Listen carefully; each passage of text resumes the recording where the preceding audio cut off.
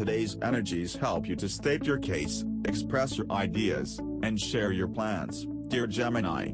Others are finding you particularly interesting, and you're more convincing than usual.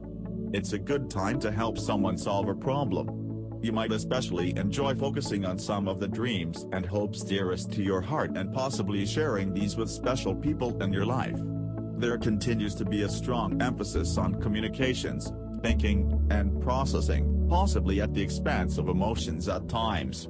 The moon continues to transit your social sector, awakening your desire to contribute and participate.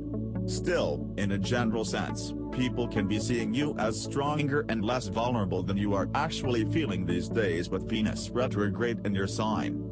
It's quite temporary and simply requires some readjustment as you take the time to look backward before going forward. There's no playing follow the leader today, unless you're the leader.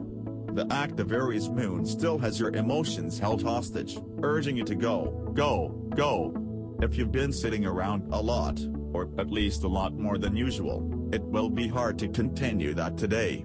Figure out a safe way to get outside and work out. Or maybe try setting up something fun and active, like an obstacle course, at home.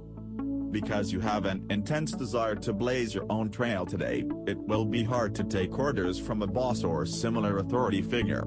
Are you convinced you know better?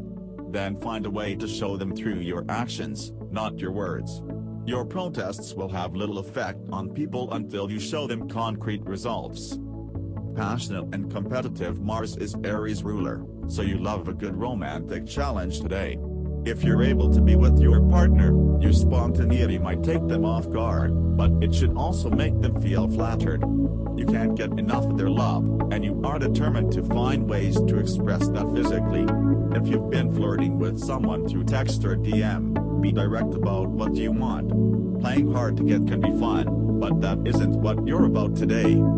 If you need ideas for dinner, go for something bold, hearty and not too fussy. You don't have patience for details when you're hemorrhaging. A big juicy steak or a substantial plate of fire roasted veggies hit the spot after a long day.